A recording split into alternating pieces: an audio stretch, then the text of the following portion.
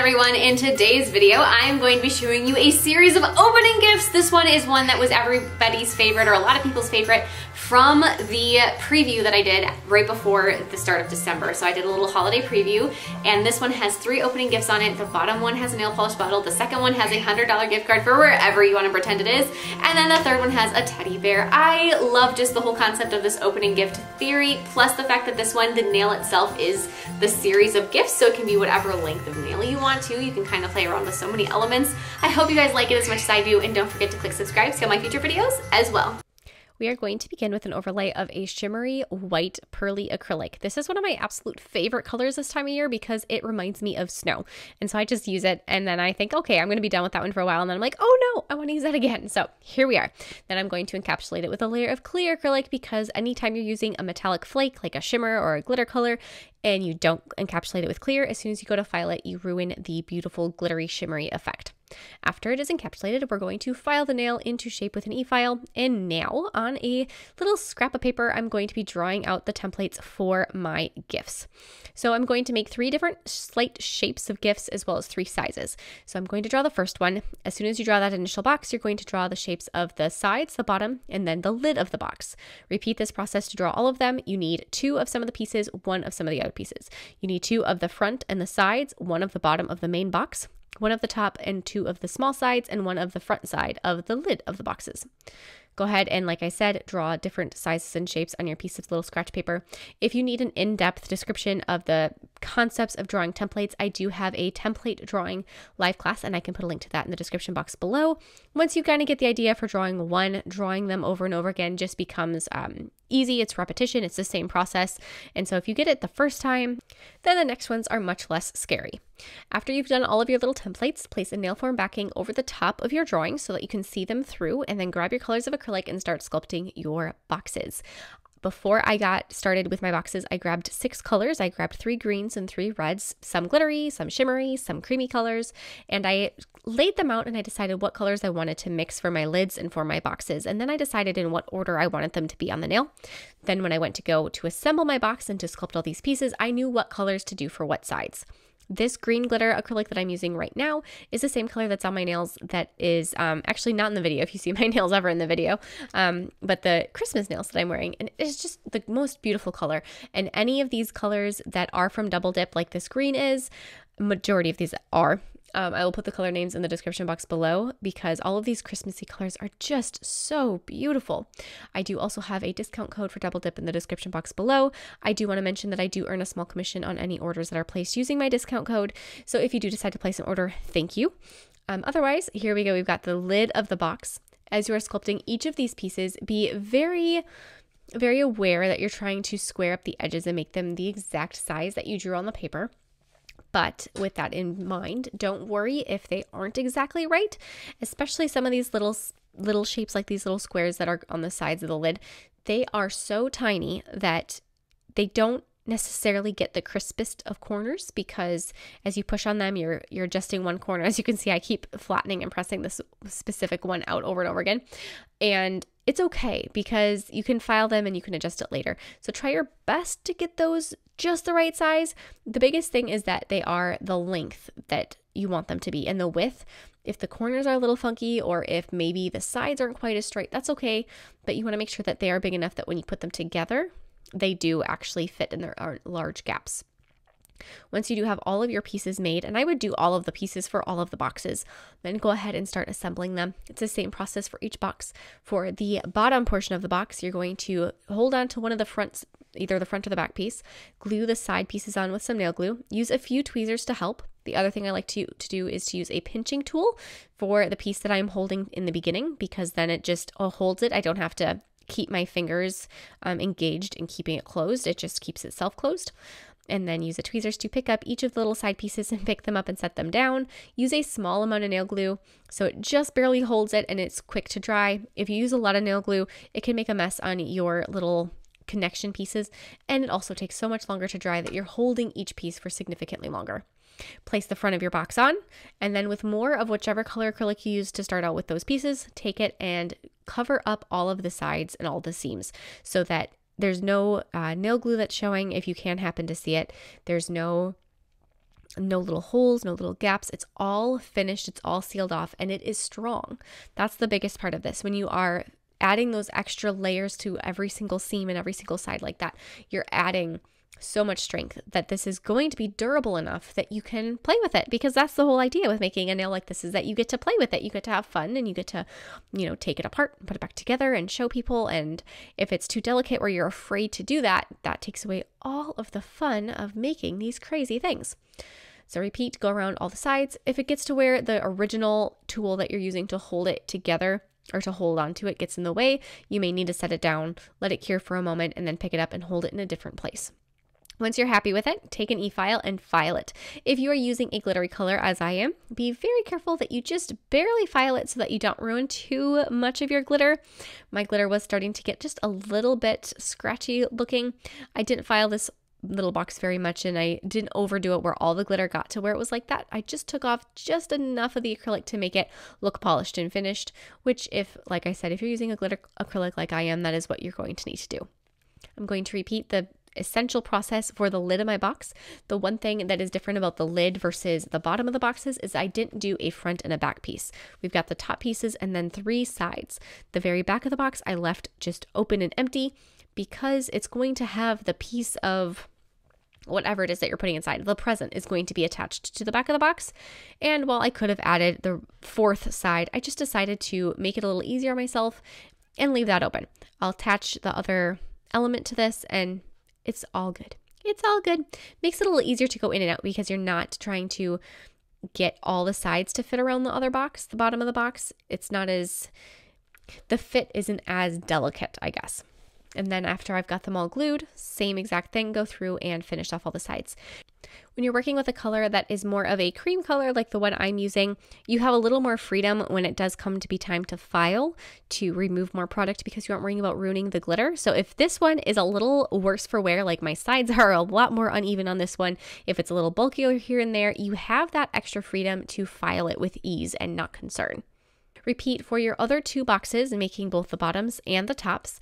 And then once you have all of them done, you have all of your little sides finished, they're all filed, test to make sure that they do all fit together with their box piece so that you put the tops and the bottoms and just check to make sure that that fit is correct. As long as that is, you are free to move on to the next step. And now we're going to make our magnetic closures. So you're going to grab magnets. I did two in each box. And so I'm going to put them in opposing corners. So I'm going to do in one in like the front left corner and the other one in the back right corner. Glue them in. It's a little bit tricky to get them glued in where they're facing upright. I recommend using a couple tweezers and something that's non-magnetic to push them in place. The non-magnetic thing I'm using is a floss pick and then secure them with some clear acrylic, just kind of wrapping it around them. Then wrap the top of the box in foil once it has been completely cured. You can't move those magnets, they're stuck in place. Add two magnets on top of the ones that are inside the box and then set your box lid in place apply the tiniest bit of acrylic on top of the magnet that is in the front and then hold that so that it starts to really grab. Don't worry about the one in the back, just do the one in the front. Uh, if you're using a fast setting acrylic, I wouldn't have had time to pick up a second bead and place it on the other magnet, so I just did one. And then the one that is in the back that I can easily access from the other side where I can see right in underneath the box lid, then you can add some clear acrylic around that one. Leave that to set to cure and repeat for the other boxes. Now, to finish off our last little sculpted elements, we're going to make what's inside the boxes, which is the fun thing. The great part about any kind of design like this where you're making something that is easily easily personalized is that you have the opportunity now to have some fun, have some creative moments.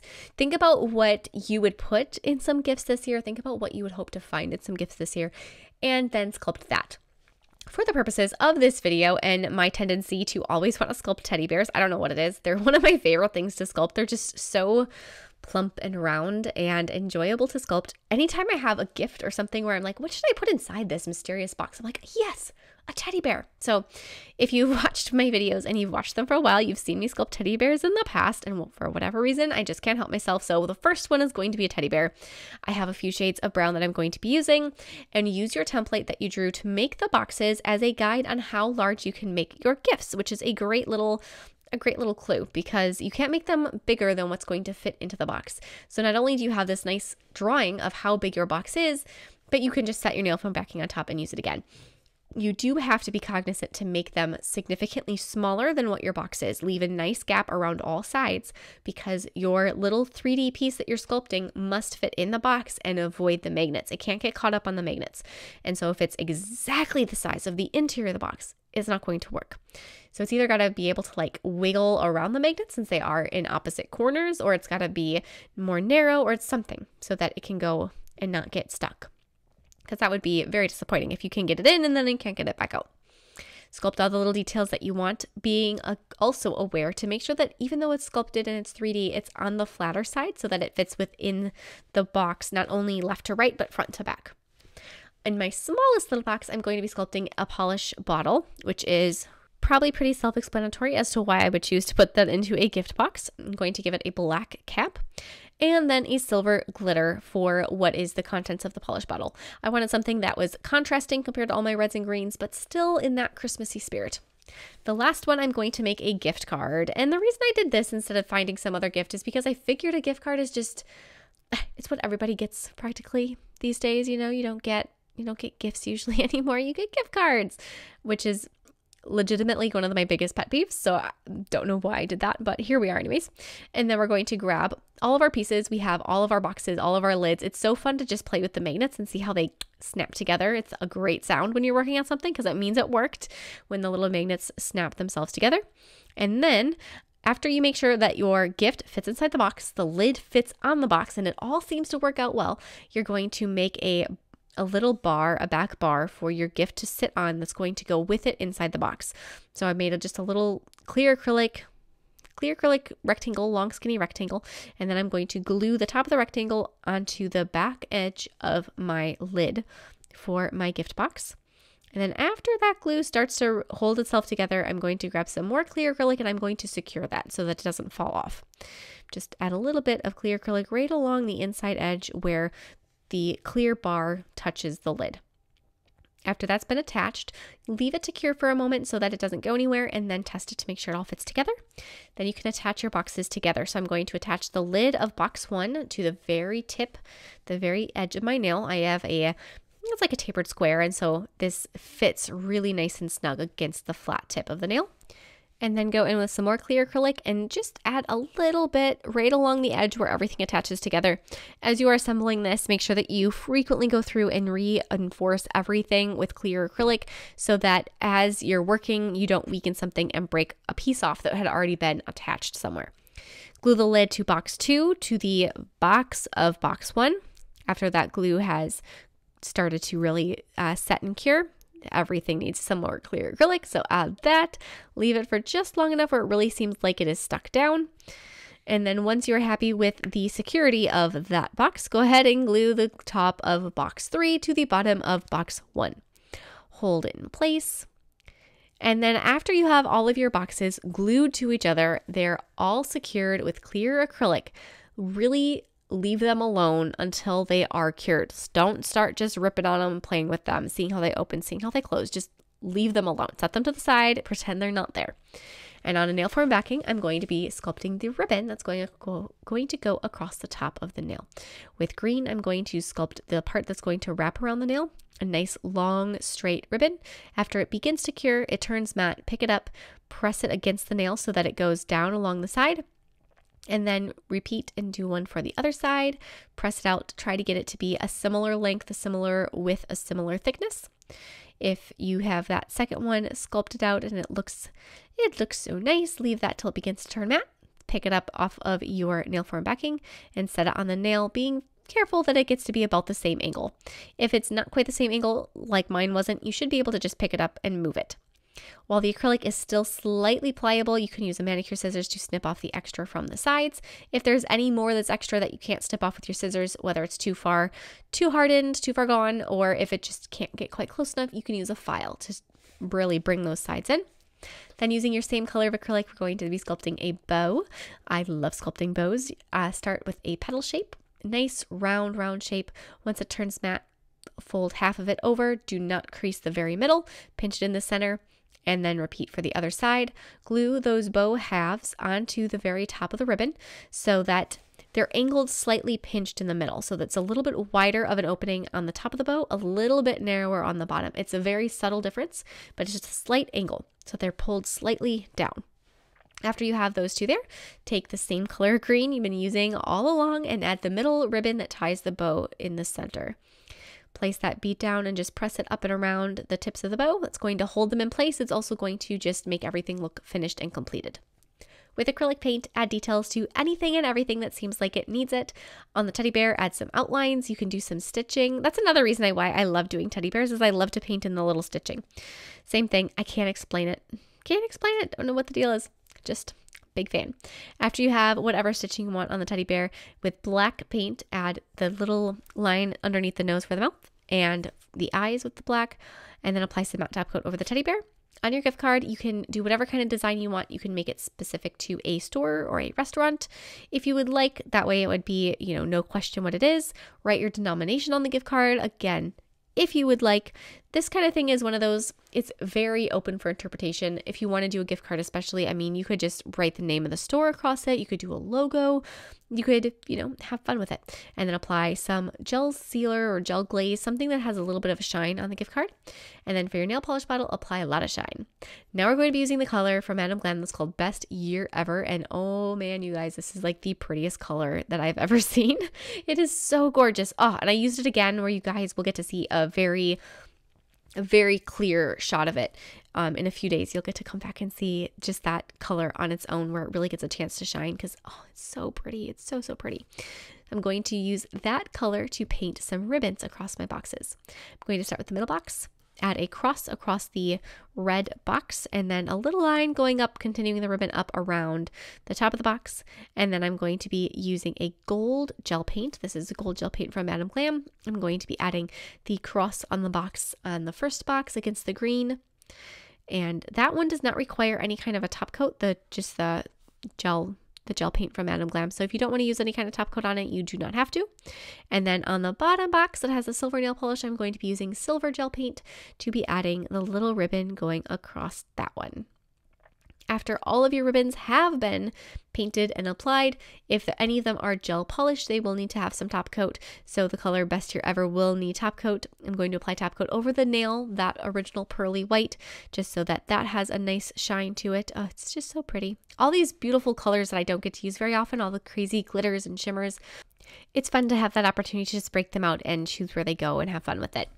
When you are applying gel sealer over the different parts of this design, you want to make sure, like I said, anything that's a gel polish gets a top coat, and then you can kind of pick and choose what else you want to top coat. This, the acrylic does not require it, so anything like the inside of the boxes, the nail polish bottle, and the gift card and stuff are going to need something over them to protect the acrylic paint, but just the acrylic boxes, if you don't want to top coat them, you do not have to. After all of that's done, you can play with this. You can change the length of nail, like I said, because it's extendable. You can have as many pieces on there as you want or none at all if that's what you want to. And it's just so fun and you can personalize it and you can play with it. I absolutely love it. It is just everything I want in a ridiculous nail design. I hope you guys are as excited about it as I am. If you do decide to make a recreation, I would absolutely love to see them on Facebook or Instagram and I will see you all next time. Bye!